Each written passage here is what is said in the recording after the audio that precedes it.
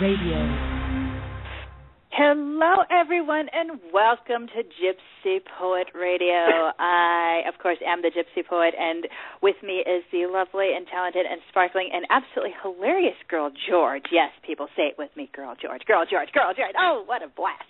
We got Kevin Henderson from the Swigs, and he also does work for one of my favorite bands in the world, Fish Karma. We got to welcome this guy. Hello, everybody with me? Oh yeah, thank you for this is Kevin. Thank you so much for having me, as they say on the radio, so to speak. Hi, Kevin. hey, girl George, how you doing? I, I love that Mm-hmm. video you guys get up on, on YouTube. Was you guys singing out on the porch? You and Fish Karma doing that America song? Oh, I'm I'm glad you got to see it, and I'll tell you, it's funny. Funny you should bring that up because uh yeah, I'm call you know talking to you from Armory Park, and that was shot at my house uh on the bare bones budget uh with three ancient uh video cameras, including a VHS C, I believe is it's called VHS C, some format I've never seen before, done on the cheap, edited in a day, and I think it's everything a rock video should be. Oh, it's great. Uh, I love it. I love it. It's mhm. clear. You can hear the words, and you guys got the intensity. Are, are you lip syncing? Oh, of course. I didn't course. see any Uh, chords plugged in. no, But you got no, it right people on like the money you know, as if know it to look for the chords. Yes. uh, no, we played it over my stereo, really loud. Um, and and I one of the cool things about living in Tucson is I know all my neighbors, so they're they're they're cool with it. I mean, I lived in L.A. for nine months. I lived in San Francisco for for six years, and I didn't know any of my neighbors very well at all. But uh, no, they were cool with it, and yeah, that is that is my front porch. So uh, yeah, it uh, sounds yeah, we're happy good, with and it it looks good. You should do swap meet women. I don't know why he don't want to do that song just because it's male chauvinistic pig. Kinky Friedman does get your biscuits in the oven and your buns in the bed. well, So he can well, do meet what women. meet women. See, Fish Karma, Fish Karma, and I, if I may rant for a minute, uh, they, Yeah. it's an interesting history because I started playing uh, on on a stage in um, in punk bands when I was 15, and uh, in Tucson. And there's a shot that Fish has put on his his web page, his, fa- his Facebook page, of him on stage at Tequila Mockingbird. And there is another shot going around the the net of me at age 15 on stage with my brother's band. What went wrong? And um, we were underage, uh, and I have occasionally had musicians that I've had to uh, recently sneak into uh, clubs where they're serving booze and stuff. But back in those days, that no one really seemed to care that they're you know we were 15, we were playing punk shows. It was it was uh, it was before the the great sullenness spread over the land, and things were just a little more laid back then. And uh, girl George, I'm I'm assuming that now you were sort of in, the in the uh, uh, maybe not the punk scene, but you you met Fish in in L.A. Do, a stand up kind of thing, or or what? It's a punk club. Yeah. Alice Yeah. No talent night where they threw cups at you if they didn't like you. Yeah. Yeah. and we well, both played there all the time. We were friends. We played a lot of gigs together. He did my I had love ins and he played my love ins and and, and we went to a wake together and all kinds of stuff. Yeah, I love Fish Karma. I think he's the most amazing act I've ever seen in my life. Yeah, well, it, and anyway, so when I was 16 or something, I heard they used to have back before radio was all clear channeled out. They would have like the punk show on the rock station late at night, and I remember hearing Swap Meet Women, you know, uh when I was 15 or 16, and I laughed my ass off. I thought it was hilarious. Uh, and then like I didn't really think of him for for 30 years, and it's really interesting that uh, you know I moved to California, I came back, and uh, that that we started working together is kind of an interesting story in itself that uh, it kind of ties into the Swigs and other things too. But uh, it's been really now, fun. how did you get together? How did you get together? Well, um, you know, the the big the big event that crystallized a bunch of stuff was I uh, Al Perry, who is kind of a, a local legend here, who um, y y people throw around words like bandy around, I should say, uh, words like the Godfather of the punk scene and stuff, but.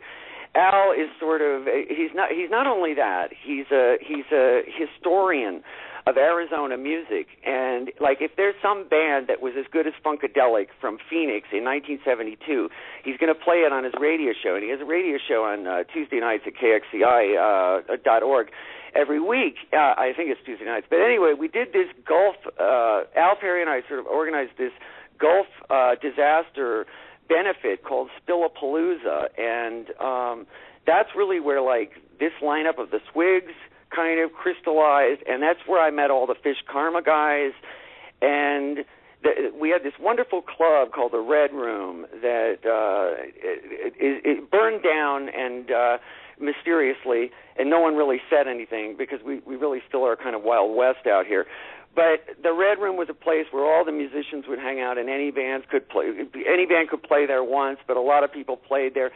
And I just sort of ended up uh, making friends with them, and uh, they started asking me to sit in on like if the bass player, could, player couldn't make it, uh, kind of gigs. And then, um, but Fish Karma gave me this di- two discs. It was a very kind thing of him to do, uh, of of kind of his life work and uh, I realized that between Swap Meet Women and Halloween in America, there was all this stuff. uh, and eventually they asked me to join the band, um, and mainly because of what they'd seen with the Swigs. Uh, uh, but I never thought I would write with him. And, and it's really interesting because I don't know if you've heard the rest of the Lethal Fairy Tales album other than America, yeah. American, but uh we we wrote that uh most of that stuff around my kitchen table um uh, really old school um and I've never had that kind of relationship uh, writing with a with another musician quite like that before so it, it was just it just sort of happened a lot to Fish Karma the bands he played with in LA they they kind of overpowered him and took it somewhere else and he was always he better by him? himself where you could hear what he was doing but with right. you it works. Mm-hmm. It works. Your your music enhances and actually takes it to a higher level. You're you're well, very good on guitar and, and you you add a lot to Fish and you can still hear every fucking word and nuance that he. Yeah, you know, and and the thing is, his lyrics are so. I mean, I don't know how he sings them. I've got actually on my wall right now. I have uh there's a new song we're working on called "The Northwest Passage," and it's a it's a it's it's a, a humorous look at uh, opening up the Northwest Passage to Arctic oil drilling, uh, which see this is his this is his genius. His genius is that he can make the most depressing shit funny, and uh, that that is a very very rare quality. But anyway, this reads. The Northwest Passage calls to all who seek her bounteous offshore favors, the grand game with modified rules, but most of the traditional players. And it's like, he has to sing this stuff and and one of the reasons i i do so many backing vocals is to give him a break because his lyrics are dense man. Yes. they are dense. I'm sorry. Yes yes. Yes i don't know how he does it. days are a day yeah, apart you know.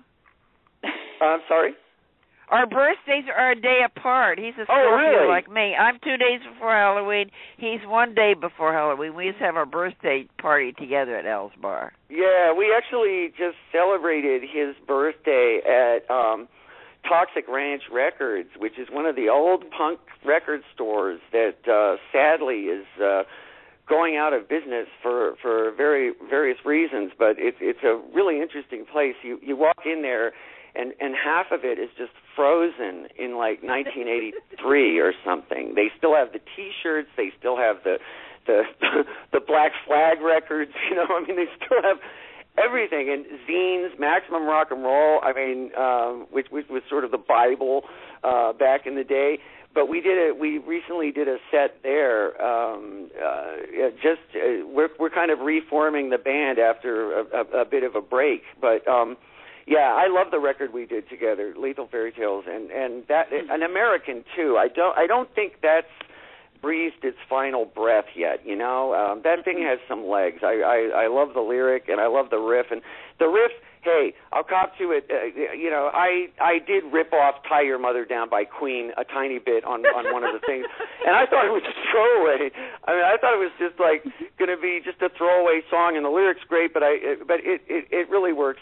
And there's some other songs on there I I really love. I don't know if you've heard, but um, "Occupied" is uh, yes. is, is his take on the Occupy movement, and mm-hmm. it, it is it's not it's not bitchy, it's not preachy, it's sort of melancholy, but it has almost like the logic of a children's song. There's no verse and chorus.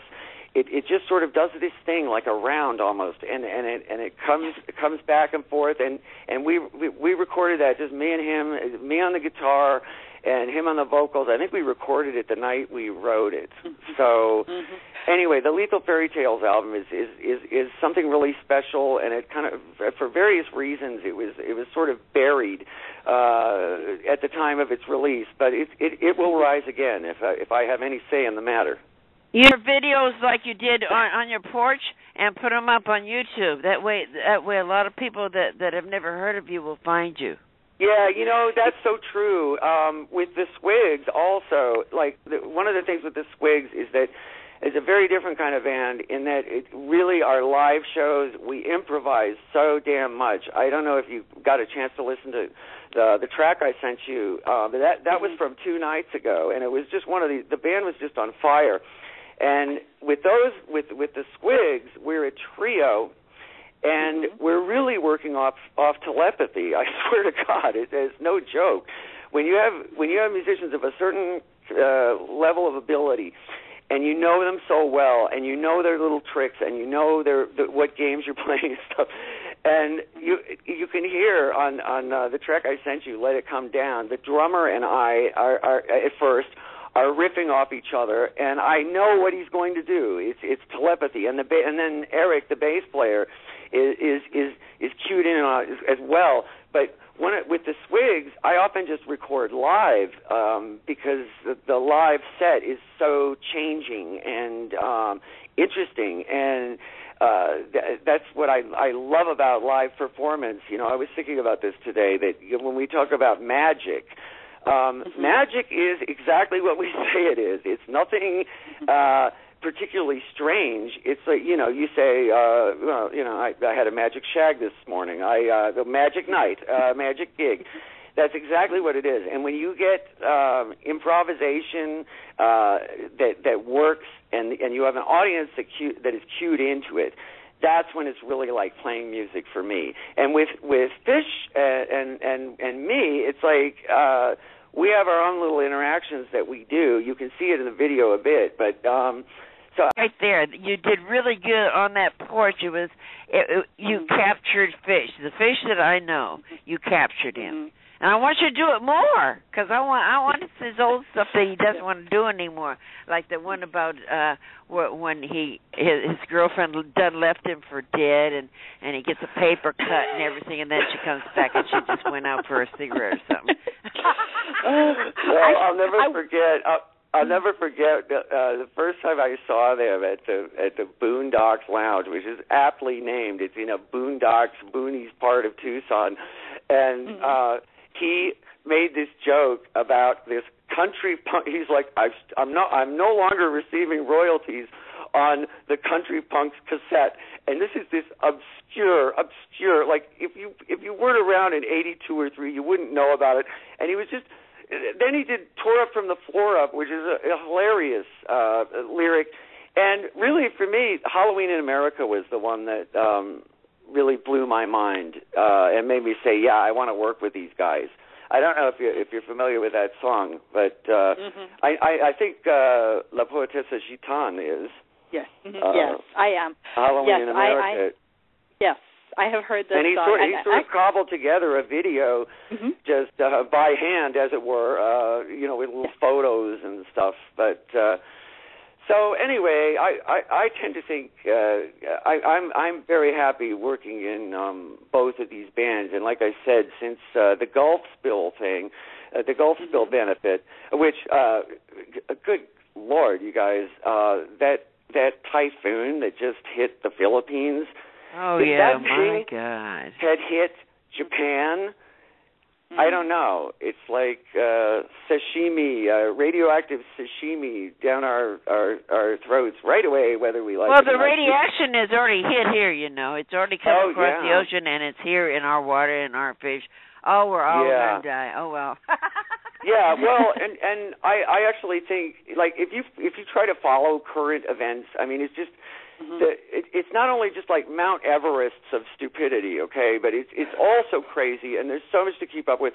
That to me, like when I go to a rehearsal or a or a gig, um, Mhm. that is an opportunity to sort of free myself and f- hopefully free other people from Mhm. just the strain of of living in the modern world and um get to have some fun, you know, um Mhm. uh sex drugs and rock and roll and I I think it's very healing to people. I I, I really do Yeah. it. So I think it's uh I I feel very secure in my mission these days. As crazy as things get. Yeah.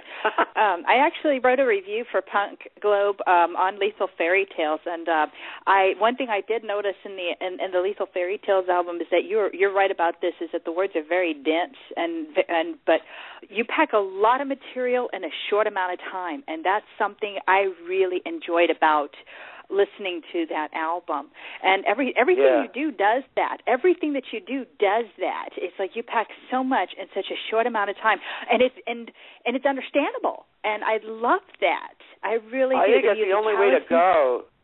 I, I think Mhm. it's the only way to go. Um, like for example, okay, when I say the Swigs improvise, we improvise, but we are not a jam band.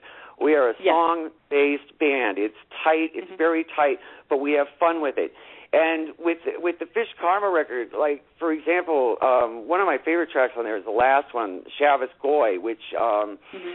uh that that whole outro on the Echoplex is me and and and he he let me do it. it it was it was kind of audacious you know it's like opening this cosmic vortex in the middle of this song but we still kept it short and sweet make your point you know Mhm. um because not not really because attention spans are are lower which they are but I really think uh, we are doing pop music, even if it rocks. If, if, it, it rocks really hard.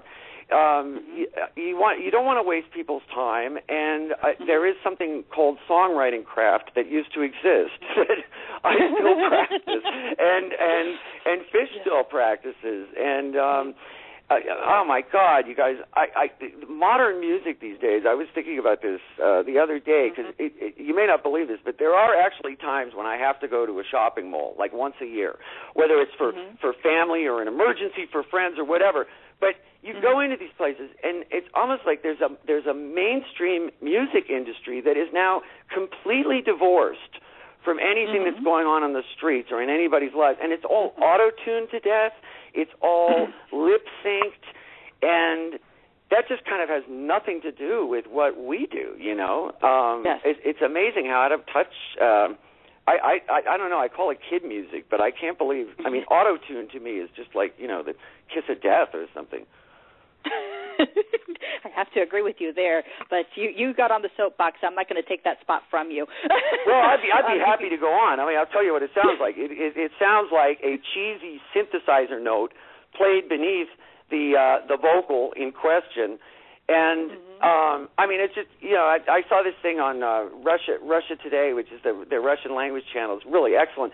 They they were saying Mhm. Elton John is the last uh, the last big star that uh, Mhm. still sings his own stuff, but the rest of them all lip sync and stuff. And I actually heard from uh, friends of mine that Mhm. uh, you know even bands like U2, they have like a. I mean, I'm I'm not going to. Uh, this is just hearsay. This this may or may not Mhm. be true. I I don't know personally, Right. but you know they have the whole thing Pro Tools out, and it's just.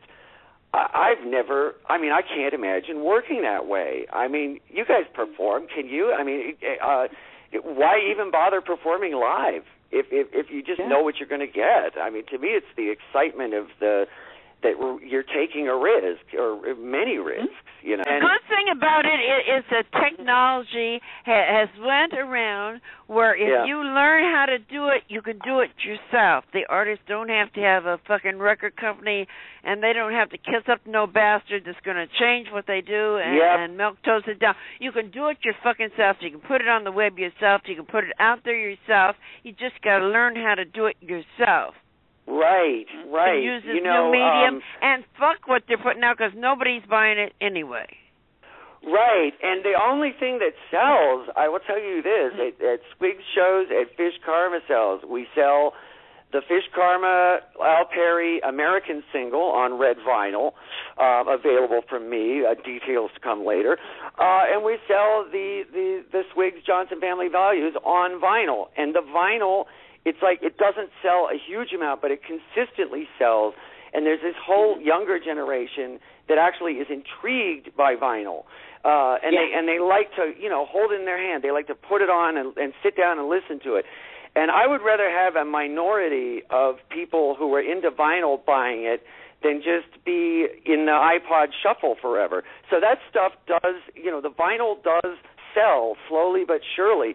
But um the last couple of years, I'll tell you, the CD sales have just, you know, dropped off the, you know, the the edge of the flat earth or something. I mean, it's just it's just non-existent. Because the whole technology has ch- changed. You've got to learn to master it. You've got to put that shit up on YouTube. Put the old stuff up that he don't want to put out again or has already been out. You know, like that swap meet woman. Put it up the porch there. Do it like that. Put it on YouTube, and then the kids will find that and say, "Oh, I want to see what that guy is doing because he Yeah. is brilliant. He's a genius."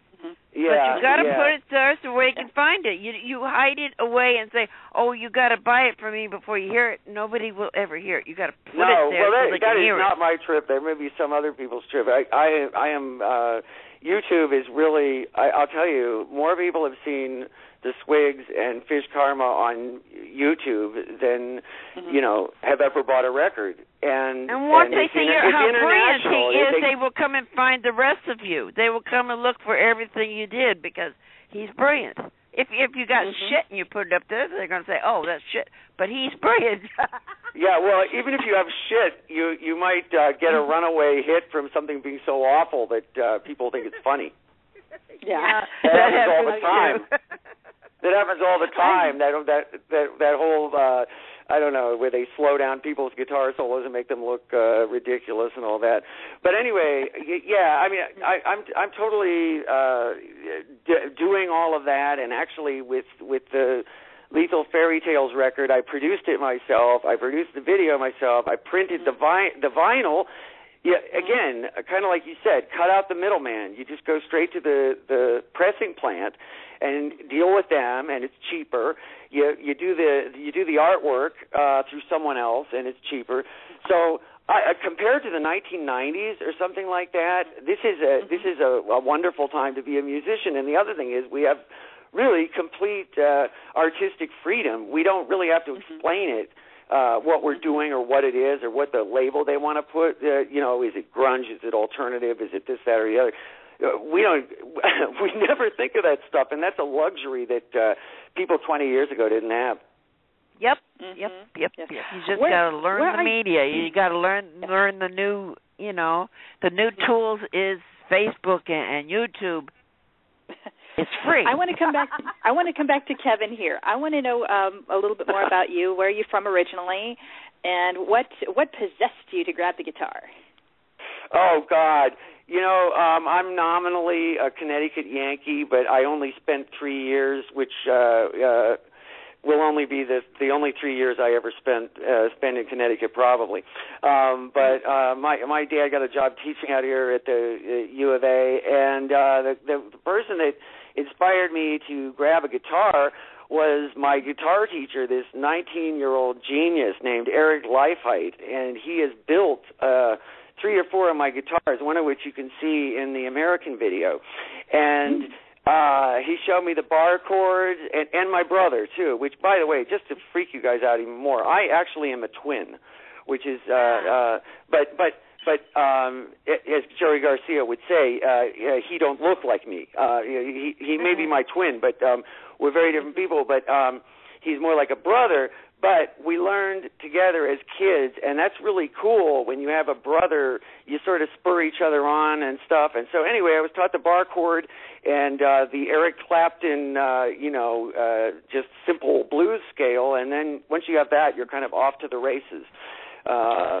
and uh le- you know learning on on the, you know as a kid in the 70s uh teenager in the 80s uh the 90s and 20s I'd rather forget about and then you know it's kind of been upward and onward from there but uh what possessed me I oh my god it was the only game in town it it and uh I still I still have the same passion and enthusiasm for guitars and and playing guitar that I always did and I you know back in the 70s it was almost like the iPhones are today. It was this magical technology, the electric guitar, you know. And now maybe that's worn off for some people, but I I still love it. And uh so yeah, it was the only it, only game in town and it it was and remains uh very fun. Awesome. I like that. Oh. Do you so- you play piano? Is that the deal or Yes, that's me. I do. I do. I play the 88s. I've been playing since I was in diapers. Well, they used Um, to start us all off on piano. You know, parents would do Mhm. this. That we're going we're going Yeah. to give the kids some culture. And Yeah. I took piano lessons too, but but uh Mhm. the, you know, the electric guitar, the piano was no match for the electric guitar. It it, it just in Oh. terms of there there's something uh the, the the power that you can get out of a relatively uh uh small setup is uh is quite wonderful. And uh yeah, I still I'm I'm still like a little kid with all that stuff. I still love it. And uh there's something to be said for playing I mean, oh my god, it's more than 30 years now, you know. So and, and it's not it's not uh it's not, you know, you you get technical ability. And that's Mhm. cool. Uh that enables you to do certain things. But if you really want to improvise and play and play something that you think is beautiful, it's almost like you collect all that technique and you practice and all that stuff and then it's like jumping off a cliff and you throw all that away and it's back Mhm. to um you know playing i i love this verb to play music is it's like the Yeah. same uh jouer in french spielen in in german it's like kids playing and so it's almost like you get all that technique uh in order to be able to say something but then you got to abandon it and not think of technique anymore so Yeah. i i i, I love that part of improvisation Yes. Oh, it, it is a it is a fun thing. I mean, um, I've um, I only gained the structure of the whole thing since I was a little kid, and after that, I just kind of ran with it myself. So, um, the piano well, for me is like one of those- writing Yes. right i mean yes. Yes. Mhm. you know you start Yeah. writing by arranging little things and that sounds good to you and and Yes. you keep doing it and then it, it is you know the the vocabulary um Mhm. the the whole thing of like it's like having a vocabulary in a language that's true but in order Yeah. to like move people with it you can't Mhm. be just thinking of technique because then you you get sort of the Yeah. the Yngwie Malmsteen kind of syndrome where they can run run up and down the fretboard real easily but uh they can't Yes. uh, you know, Eric Satie is is is very interesting Mhm. in this regard. If you're into piano, because Mhm. it's this really simple, minimalistic Mhm. stuff, and it's just Mhm. it's but it's like heart wrenching, you know. Oh, God. Yes, and I studied him too. well, I, we got uh, about two minutes left in the program here. Is there anything you Oh, want to plug? Yeah. Yeah, Mhm. I I would love to plug a couple of things. SapientRecords uh, dot com, S A P I N I E N T, Mhm. S A P as in Peter, I E N T, records dot com. And my site uh, right now will lead you to my YouTube page and my Facebook page and maybe somewhere else. But I am also uh, going to be blogging uh, about Mhm. uh, herbal uh, stuff that I'm into and and beer brewing that I'm into, which fits very much into the swig. So it will be Beer Iconoclast at Blogspot and Herbal Iconoclast at Blogspot, and that's a whole other rant that we can take up some other time. Um, Mhm. But otherwise, yeah, we are performing, and we have a new record. The Swigs have a new record, Pearl, P U R L, uh, Mhm. with the title is a whole story in itself.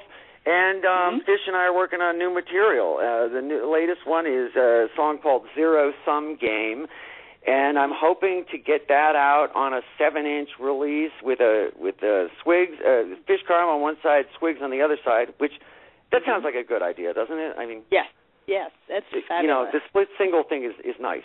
So Mhm. yeah, those are those are um, my current plans, and and just uh, playing playing here, and also planning to get. Uh, I really want to go to Texas. I want to do uh, Oh. Austin and and San Antonio and Houston and the South. So uh, we need to talk about that uh, when yes, we get a we chance. do. Yes, absolutely. Okay, everybody. Girl George, are you ready for our fi- our our finale? Great of talking to you, Kevin. Hey, Yes. great talking to both of you, and thank you so much. Keep on Yes, rocking. Absolutely. You guys rock Absolutely, on yes. too. God bless you. Thank you so much. Thank you. Okay, everybody, this is Gypsy Poet Radio. I am the Gypsy Poet along with Girl George, and what a blast this afternoon having the one and only Kevin Henderson on the program. What a blast. Great stories, great fun, and please be sure to check him out on Facebook and also Fish Karma on YouTube. Don't forget the swigs, please. Absolutely awesome, awesome stuff. I am signing off saying adieu for now. Ciao. Adiós.